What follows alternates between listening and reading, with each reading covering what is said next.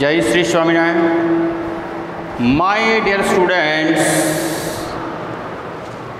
continue about this chapter chapter number one rise of British rule in India in our previous lecture we discussed about why the european compelled to see such new route Then how Britishers came in our country in the year 1600 they established East India Company East India Company 1600 they came to country but in 1613 they got the permission in a year 1613 AD they established center in Surat, initially in Ahmedabad and Bharuch also. Till here we discussed. Today we are going to discuss another places where they establish their trading center. but due to the strong presence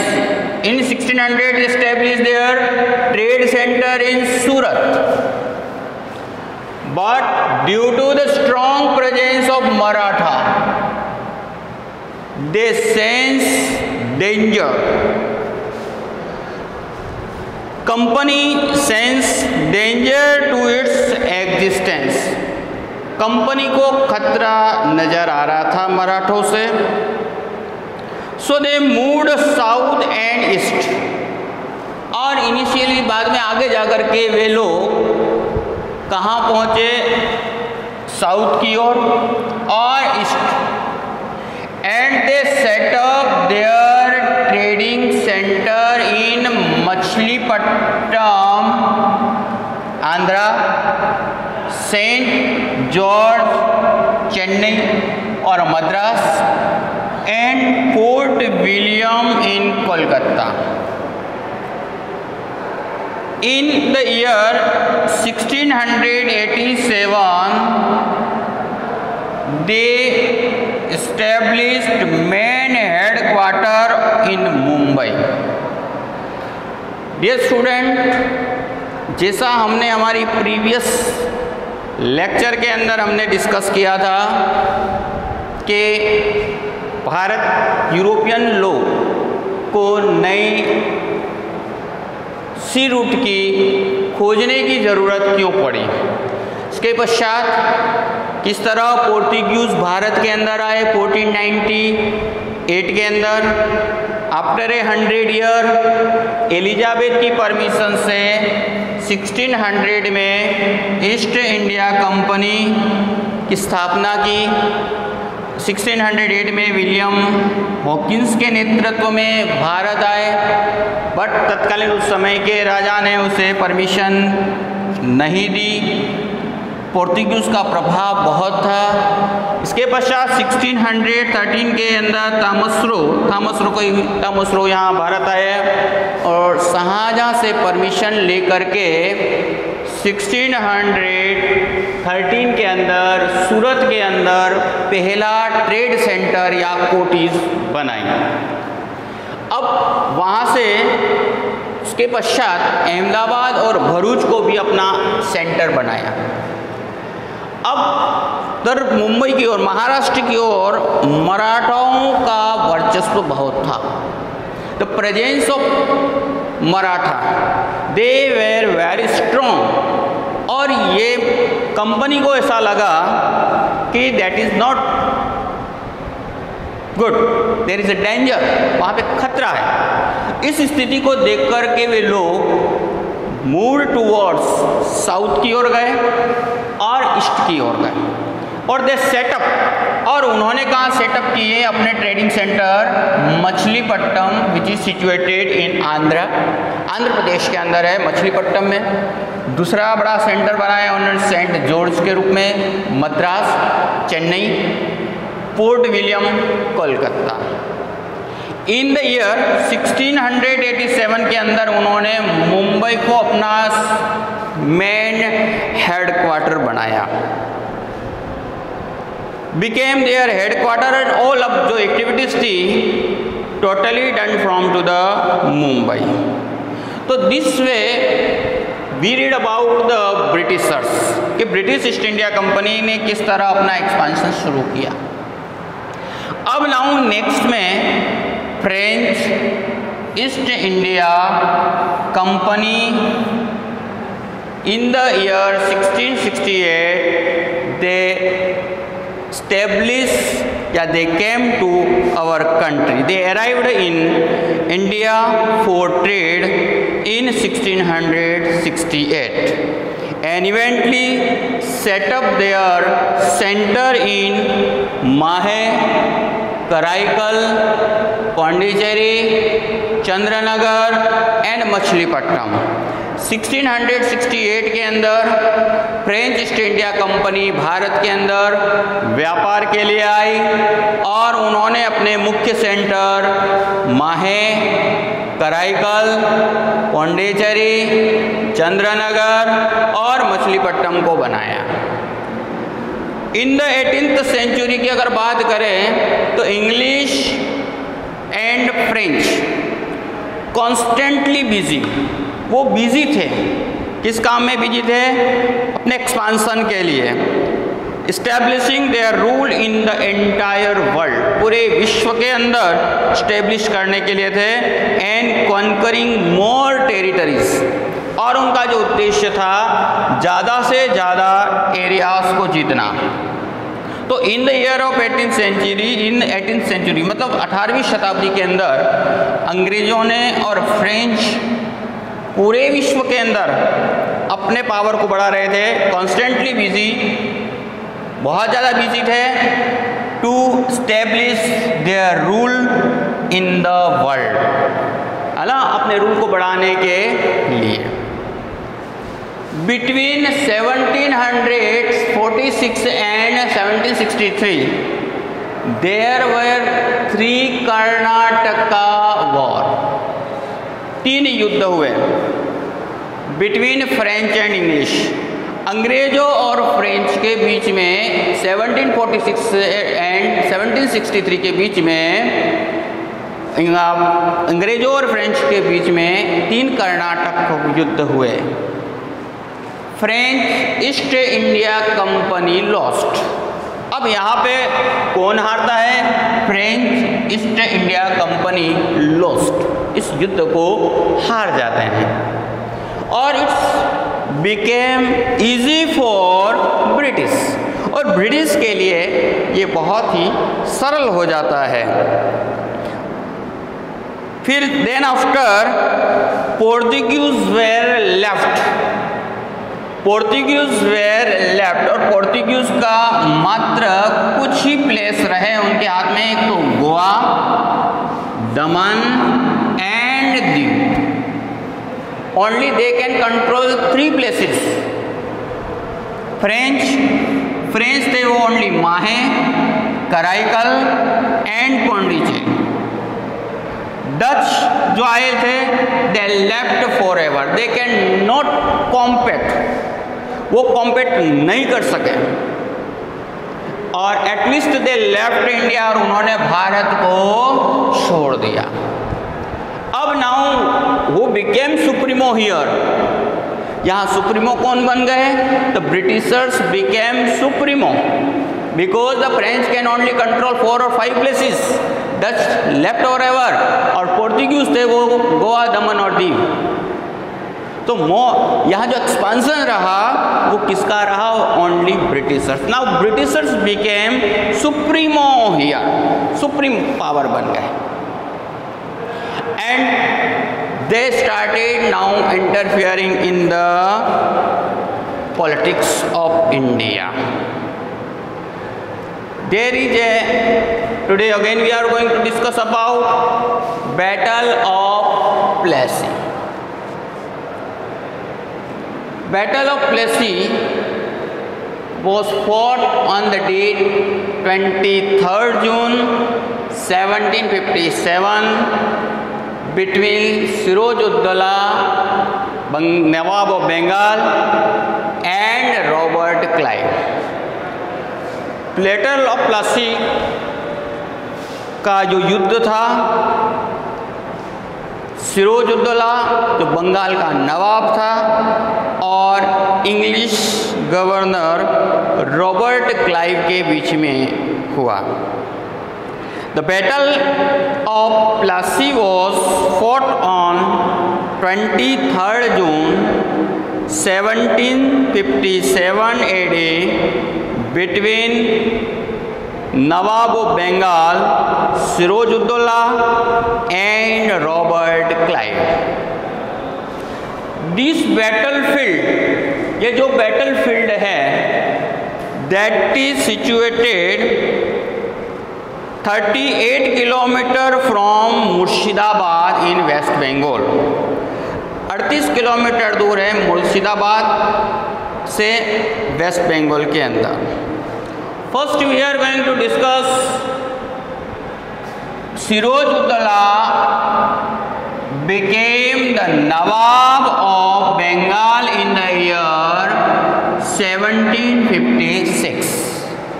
1756 में बंगाल का नवाब बना Siraj Sirajuddaulah he had impulsive nature even their minister and people did not like him अब उसके लिए तकलीफ ये थी कि वो बहुत ही इम्पल्सिव नेचर का था he was not in good term with British और ये ब्रिटिश के लिए अच्छा नहीं था he had impulsive nature so the Britishers even people did not like him यहाँ तक कि ब्रिटिश भी उसको नहीं चाहते थे मिनिस्टर्स भी नहीं चाहते थे और इसके साथ साथ वहाँ की जनता भी उसे नहीं चाहती थी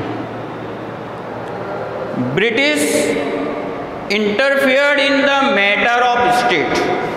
अब ब्रिटिश लोग क्या करते थे उसके राज्य के मामलों में हस्तक्षेप करते थे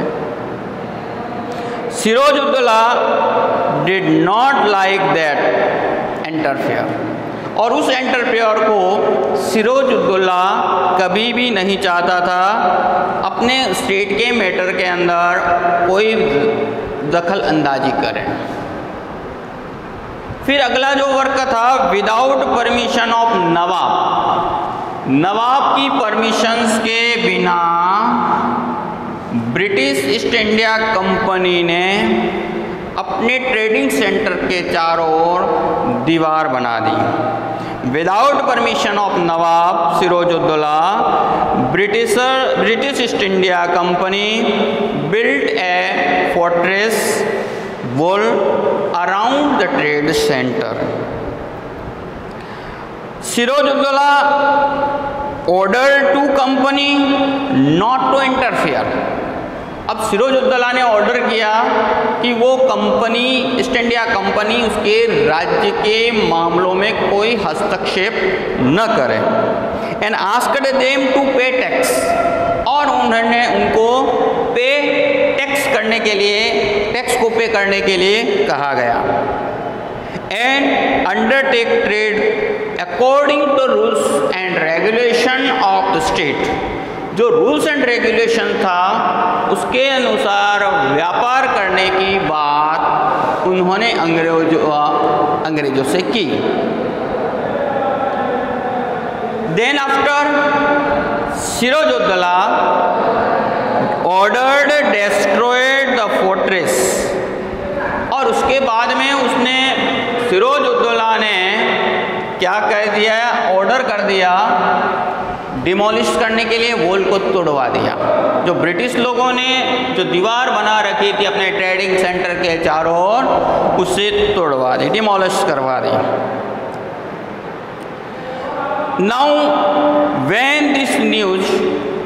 reached Madras अब ये बात जब कहाँ पहुंची मद्रास पहुंची अब मद्रास जब ये बात पहुंची there Robert Clive came there with a small army एक small army के साथ में रॉबर्ट क्लाई कलकत्ता पहुंचा specially for safety order to help the Calcutta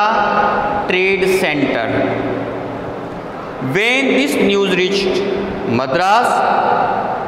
the small army of company led by Robert Clive reached Bengal in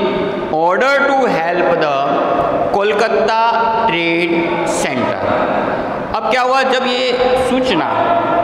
Madras पहुंची तो एक छोटी army लेकर के रॉबर्ट क्लाइव बंगाल पहुंचा कोलकाता ट्रेड सेंटर की हेल्प के लिए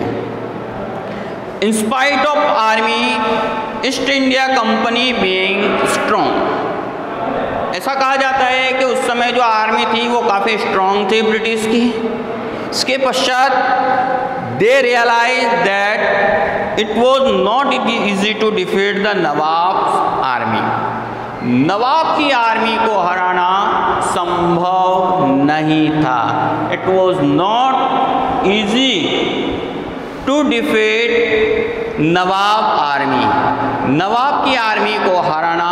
संभव नहीं था in that all condition Robert Clive restored the a treachery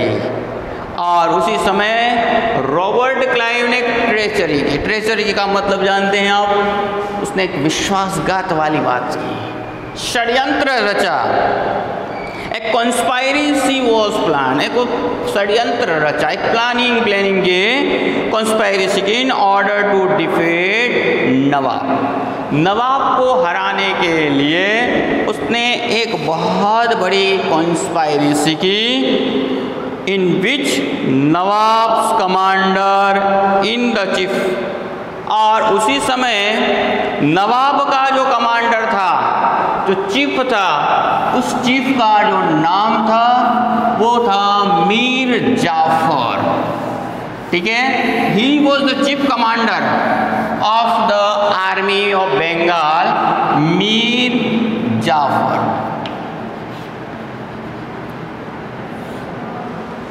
अब he promised Mir Jafar to be king और उन्होंने मीर जाफर से वादा किया कॉन्स्पायरेसी की एक षड्यंत्र में उसको वादा किया कि आफ्टर द डेथ ऑफ मतलब उसको इफ यू सपोर्ट अस यदि तुम हमें सपोर्ट करोगे तो we would make you the king of Bengal तो तुम्हें हम यहाँ का किंग बना देंगे नवाब बना देंगे in which Nawab commander in chief Mir Jafar and इसके साथ में मिट सेट चंद भी थे were coaxed to join coaxed to join it means उनको अपनी ओर ज्वाइन कराने की बात की on the pretext that Nawab is unnecessary harassing the people क्योंकि एक तकलीफ लोगों की भी थी लोगों को वो ज़्यादा से ज़्यादा हैरेस करता था विदाउट एनी पर्पज बिना किसी कारण से वो हैरेसिंग करता था ए वोर वॉज डिक्लेयर और उसी समय एक युद्ध कहाँ पे प्लेसी नामक प्लेस पे डिक्लेयर किया a war was declared a war was declared और डेट क्या थी ट्वेंटी थर्ड जून 1757 को near the name near the village named Plassey Plassey नामक गांव के पास में था इसलिए उसको बैटल ऑफ प्लेसी कहा जाता है अकॉर्डिंग टू प्लान जैसा उन्होंने पहले से प्लानिंग कर दी थी मीर जाफर बिकेम अनएक्टिव वो एक्टिव रहा ही नहीं युद्ध में और जान बुझ करके युद्ध को हार गया को अच्छी तरीके से ध्यान में होना चाहिए कि यदि कोई कमांडर सेना का अगर चीफ है ना ही युद्ध न लड़े और वो इसी करे तो it was impossible to win the battle ये संभव ही नहीं था और in that all conditions as according to treachery the Siraj Mir Jafar lost and Siraj Uddaulah was killed Siraj Uddaulah मारा गया to this plan company company free hand over twenty four Pargana area चौबीस Pargana area के अंदर उन्होंने free hand में मीर जाफर से free मतलब tax लेने का अधिकार है ना द ही टेक द खुले Tax from to these following places. The Nawab, Jafar was made Nawab and that was the foundation of British rule started in our country. Now, now the foundation ban chuka tha. Now this way they started all. The foundation here for the British rule started in our country.